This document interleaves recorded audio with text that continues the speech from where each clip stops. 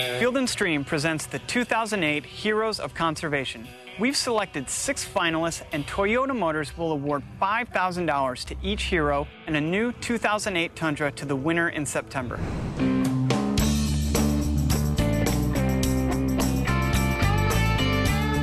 I'm Nate Matthews, online editor with Field and Stream. We're back in West Texas with Heroes of Conservation finalist Dale Rollins. After years of working on quail preservation, the Rolling Hills Plains Quail Research Ranch was turned over to Dale to continue his research.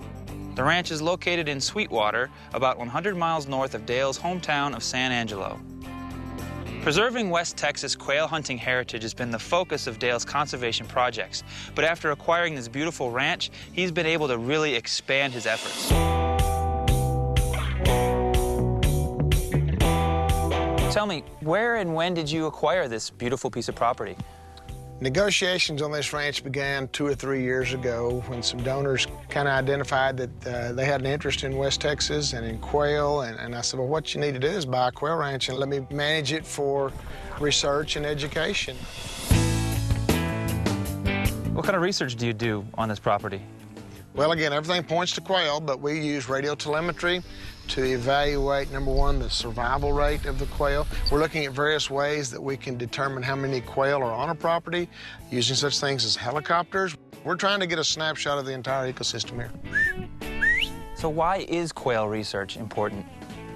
Well, quail research is important, number one, because quail populations are going like this. And so is there something that we can do? Can we tweak our land management? Try to identify the problem, and then can we do something that is ecologically compatible and ecologically uh, socially acceptable. And you've got a lot of graduate students that come out here and work with you on these projects. Can you tell us some more about their research? I've got a graduate student here from Angelo State University that's working on herps, which is a fancy name for reptiles and amphibians.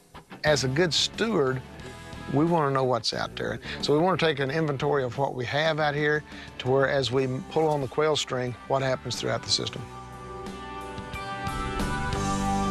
The research that I'm doing on the Rolling Plains Quail Research Ranch is uh, looking at all the reptiles and amphibians and the differences that they may have among different habitat types. We're going out and using several trapping methods.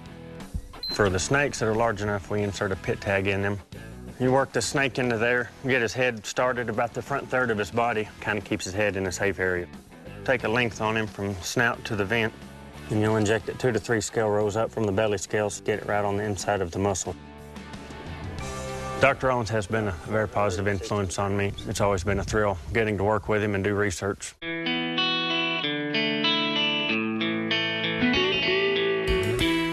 So what are the short-term and long-term goals for the overall project?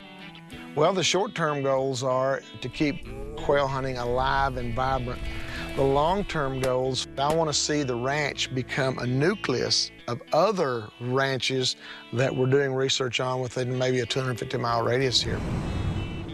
What's the one thing that every conservation project needs to really do? Think of the future. Think of the future generation. The population of hunters is getting old really quick. So we've got to have somebody coming in with the savvy, with the critical thinking that's going to be able to rectify, correct some of the problems that they're inheriting. Well, you're certainly doing a lot to help put us on the right track. It's, it's been a labor of love, what can I say? Field and Stream is proud to have Dale Rollins as one of our Heroes of Conservation finalists. Dale has worked hard for 20 years to protect the quail populations of West Texas, and he's done it in a way that's going to make sure those quail stay here for generations.